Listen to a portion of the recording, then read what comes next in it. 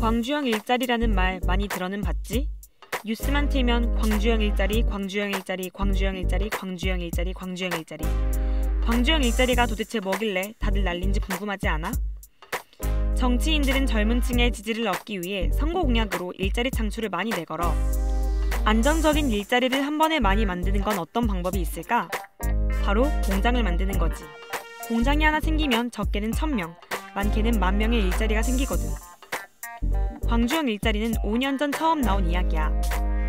한마디로 말하자면 기업이 근로자에게 월급을 적게 주는 대신 정부와 지방자치단체가 근로자들의 주거비, 교육비 등을 지원해주는 일자리 창출 사업이지. 문재인 대통령이 100대 국정과제에 넣으면서 더 힘을 실어준 광주형 일자리는 2019년 1월 31일 광주시와 현대 간의 협상이 완료, 2021년 하반기부터 공장이 돌아갈 예정이야.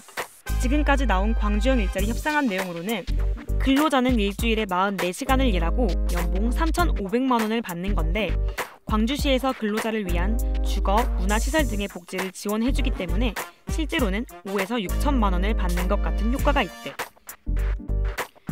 광주형 일자리가 만들어진다면 광주와 한평 사이 빅그린 산단이라는 곳에 자동차를 만드는 완성차 공장이 들어서고 주거시설까지 생길 거야. 그럼 사람이 사는데 필요한 다른 업종들도 자연스레 많이 생기겠지? 즉, 광주시는 일자리를 많이 창출하고 기업은 근로자에게 돈을 지금의 절반만 주고도 자동차를 만들 수 있고 근로자들은 월급이 조금 적은 대신에 일단 취직 성공.